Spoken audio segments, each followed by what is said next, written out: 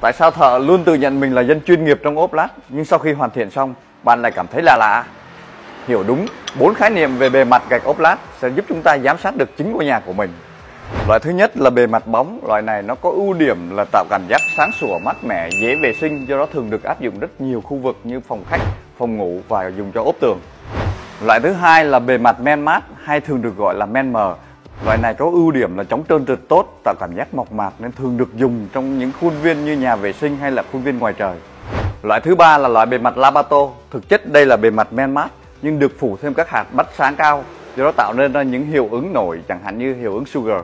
Loại này thì thường được dùng cho những khu vực yêu cầu có độ chống trơn trượt cao, chẳng hạn như những khu vực ngoài trời tiếp xúc với mưa nước. Loại bề mặt thứ tư là bề mặt gạch cấu trúc. Loại này được tạo ra những đường gân nổi 3D như thế này và tạo ra nhiều hoa văn khác nhau, được dùng cho ốp gạch trang trí. Chúng ta không phải chuyên gia nhưng chúng ta cần phải biết những khái niệm cơ bản để có thể lựa chọn ra những sản phẩm phù hợp cho ngôi nhà của mình. Mình là Kiên Nhà Cửa, có nhà cửa là có Kiên.